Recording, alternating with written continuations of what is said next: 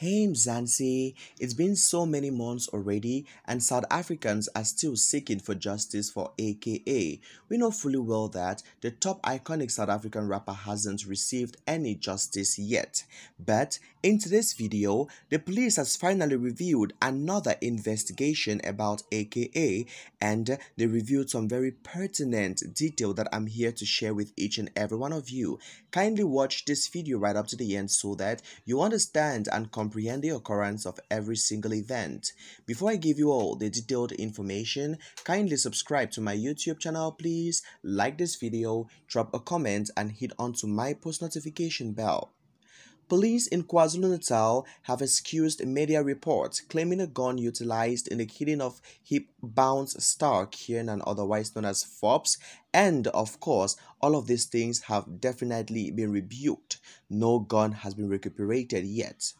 This comes after reports that a man in his mid 20s was tracked down possessing an unlicensed gun in Umlazi, south of Durban, at the end of the week. It was accounted for the gun was sent to ballistic testing and returned positive as a weapon used to firearm down Forbes. In the words I quote, a few media houses who plainly appear to be recklessly determined twisted to mess up any police tries to track down the executioners and carry equity to the groups of people in question began the day on Tuesday morning with unconfirmed bits of gossip and malevolent claims about the recuperation of the supposed deadly weapon said Common Police Representative Lieutenant Colonel Robert. These cold-hearted, deceptive, and discourteous revealing has extraordinarily capability of furnishing the people of interest with armor to additionally muddle police progress into the matter. He expressed claims of this nature put the researching group under excessive tension and imperil their lives. Netshiunda said police are making one more allure for individuals from the media to regard the course of examination to cease from distributing unwarranted charges and hypotheses, and to think about the unseen side effects of the activities.